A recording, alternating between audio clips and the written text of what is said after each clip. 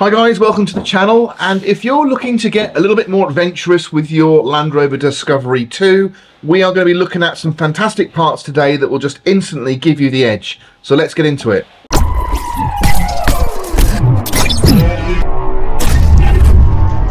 So the aim of the game really is to take uh, a Land Rover Discovery, uh, which is pretty much a tenth of the price of a Defender at the moment, and actually make it less road biased and more off-road biased because we're going to be looking at doing some adventures in these Discovery 1s and 2s and they just need a little bit of tweaking because obviously they're an incredibly capable vehicle we all know that and some of the parts on them just need a little bit of tweaking to make them into a massively capable off-roader so we're going to be looking at just like four or five things today that will instantly give you the edge not just for off-road driving but also adventure driving for overlanding so you can get more out of your vehicle you can commute it day to day it's a daily driver and then at the weekend you can throw your gear in it you can throw stuff onto the roof rack and then off you go on an adventure for the whole weekend with the family. The first thing I want to mention are these uh, wheel arches. Now this wheel arch kit is from Terrafirma and I've always been a massive fan of the Terrafirma stuff. I do think it's well made and well thought out and um, these really are no exception so pretty good value in fact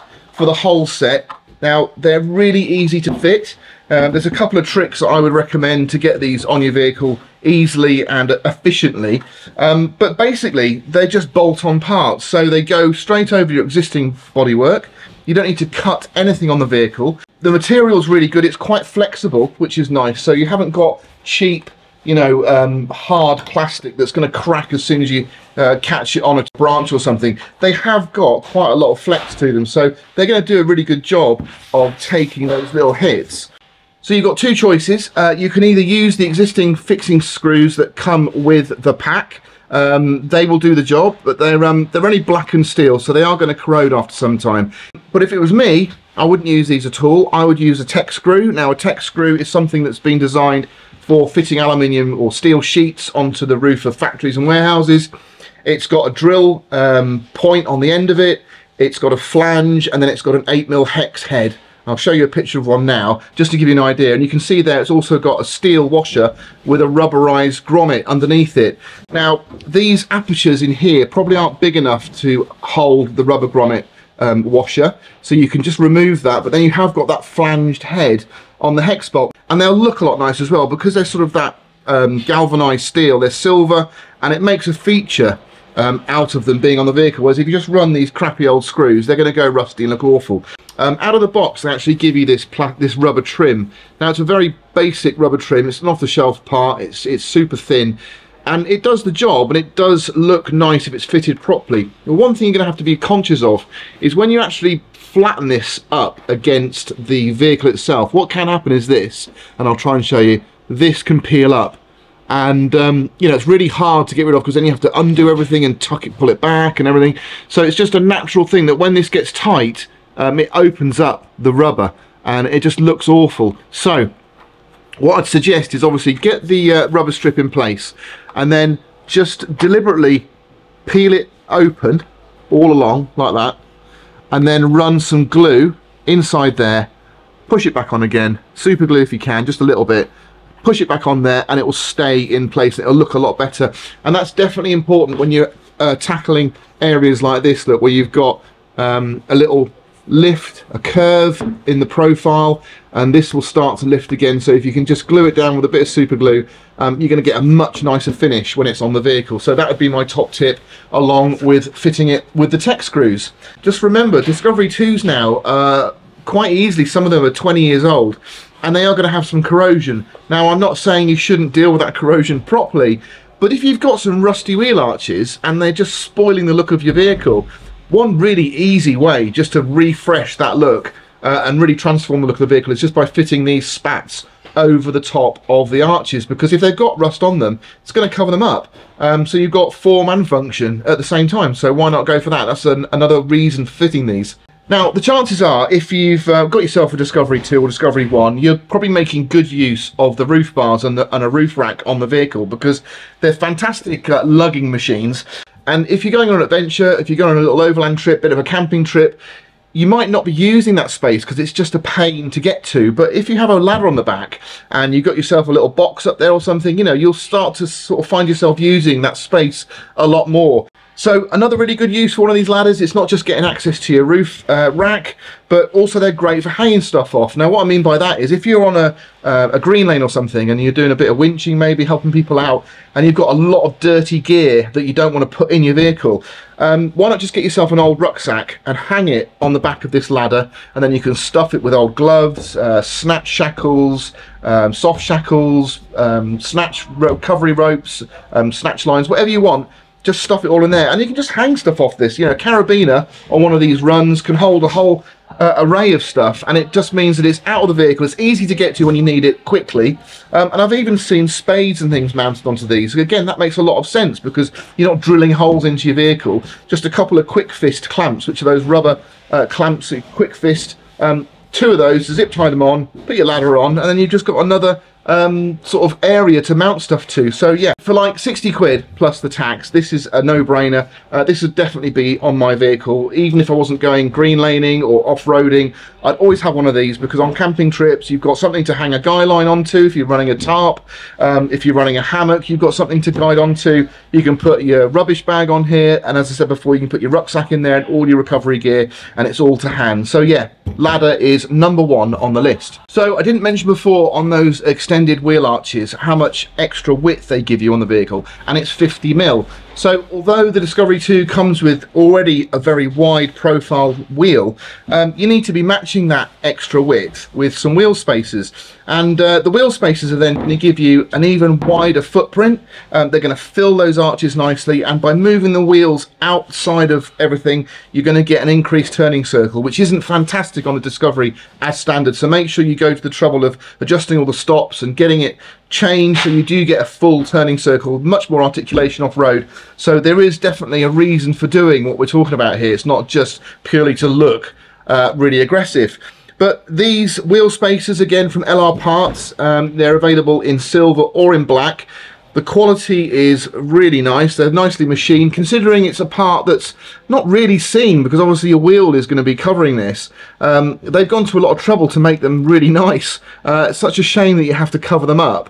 So basically everything's in the kit. Now you would actually remove your wheel um, as standard and keep the wheel nuts that you've got because these ones on here, they will actually sit on your existing studs um, on your hubs and they'll sit in there and then you'll use your previous wheel nut, your existing wheel nut on these new studs when you put the wheel over the top. That's going to fill those arches really nicely and it's going to give you better articulation and it's just going to give it a really nice aggressive stance. Now you might find once you've done these uh, and you've done some green laning, you've done some off-roading, maybe done some pay and play days and you haven't got quite enough ground clearance, you can then go to the next stage of doing perhaps a, a slight lift on the vehicle and you've got all the groundwork already done because you've got the extended wheel arches, you've got the, you know, the, the wider platform. That's going to give you a much more capable vehicle off-road. So you don't have to do it all at once. You can do it in stages and as you learn and progress um, with the driving off-road and uh, on the green lanes, you can just change the vehicle as you go along, which is, which is great. So the last two products I'm going to talk about are the same type of product. Uh, they're a snorkel or raised air intake. And uh, if you've got a bit of confusion there on what the difference is, check out my other video uh, that I've done recently on uh, Defender snorkels because the same uh, science applies uh, here. But we've got two snorkels I want to show you and they vary in price quite a bit. Um, one's almost half the price of the other, so you'll be able to make a decision on which one you want to go for. Uh, this one here is LR Parts' own snorkel. And the nice thing about it is it's a, it's one piece. If you want to use them as a snorkel, i.e. to try and prevent water ingress into the airbox and enable you to wade more deeply in your vehicle, then you need to make sure it's completely sealed up from top to toe. So the nice thing about this one is there's no break in the mould, unlike the, uh, the other one that we've got from Terrafirma. It's a one piece uh, that goes into the wing, so you're having to cut uh, an aperture in your wing to allow this to pass through. Uh, and then both systems will give you, you actually get this mounting bracket. Now this bracket will again go on the inside of your wing and it actually slides there look onto the bracket itself onto the uh, raised air intake you'd then use um, copious amounts of tiger seal for instance to make sure that you've sealed that all off from the elements so no water can get in there and then you've got clean cold um, dry air coming all the way from the intake all the way through into the airbox. Uh, it can help with performance, it sounds really nice, but it's just going to enable you to do the wading that you want to do when everyone wants to play in some deep water, uh, so why not? So as far as build quality goes, I mean, the price on this unit itself is only £90 plus the VAT. Now, there's snorkels out there that, I'm not saying they're the same, but they're certainly similarly designed um, for about 300 quid. So for 90 quid, this is an absolute steal. I mean, just this piece alone is probably worth that. I mean, you know, you can't, if you've lost one of these on your vehicle, it's probably cheaper to buy the whole thing uh, than one of these um, from other suppliers. So obviously you get the ram head style on there, which is nice. And again, we talk about the benefits of these in the other video, but just really briefly, you can run them forwards to really ram air into the system, which is great. Or if you're in a convoy and there's loads of dust and you want cleaner air, you can spin them round so that you're just drawing air from behind. It's a nice natural flow. So yeah, I mean, if you're going for a snorkel, if it's something you want, even at that price, I hate to say this, but even as an aesthetic change to your vehicle, just a bolt-on bit, it's going to look super cool for that sort of price and if you do it properly it's got a function there too. So um, yeah a bit of a no-brainer really. But let's compare it to the one from Terrafirma. And you can already see it's far more angular it's more technical looking. Um, and again does the same function. But um, it's well made. The the element you've got here is obviously, I don't know if it's being done for shipping purposes or cost of manufacture, but it comes in two pieces. I guess it is a little bit more manageable, certainly, and just as long as you make sure that this is fully sealed this section here uh, when you slot this top section on uh, that would be the only weak point that I can suggest it's got because um, if you're wading you know there's a very good chance the water's going to be coming over your bonnet and it will come that high because you're going to be covering your wing tops. So that section there has to be completely sealed off from the elements. So as long as you've done that um, you're, you're good to go. But it is something that you've got to be uh, you know aware of because otherwise you might just think well I'll bolt it on and I can uh, I can be a submarine but you can't you've got to do it properly. Um, so there's no difference in that the actual sort of connection method used by either of these air intakes. Um, it just really depends on which design you prefer. Same sort of top um, it's angled differently. It's a little bit nicer because you've got this nice grill uh, effect on there which I quite like but you can rotate it uh, as we said on the other one. So if you want clean air in a convoy, or you just want to ram their air in there for um, you know the most efficient way of thrashing a disco, um, this would be a good option. So ultimately, uh, it all comes down to price initially, and this is 150 pounds compared to the, the other one which we looked at, which was 90 pounds. And also it's the aesthetics, the design of it. So this is a far more modern design.